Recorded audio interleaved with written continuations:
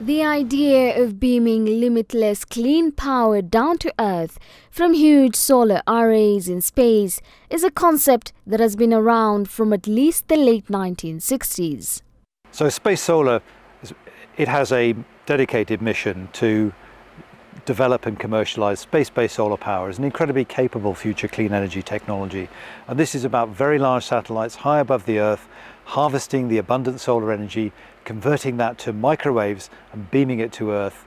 But over the years, hopes of realizing the technology have been dim, well, until now. Space Solar is confident that its power beaming technology marks a pivotal moment in the mission to provide a better alternative to solar panels on land. And that process for the UK startup will involve harvesting solar power in space 24 hours a day, all year long.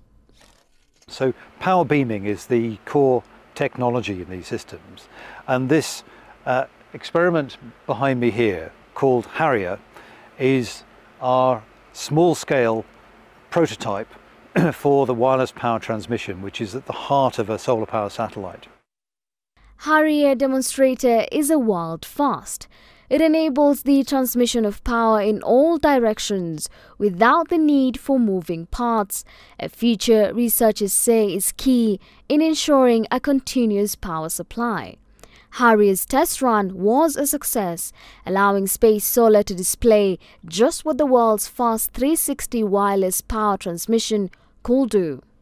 And Harrier is doing two things. It's demonstrating for the very first time the ability to steer a microwave beam right through 360 degrees and with a continuous reliable beam.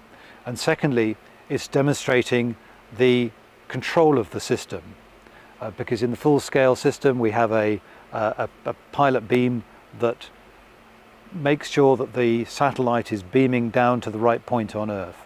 And so this small scale demonstrator has all of those characteristics.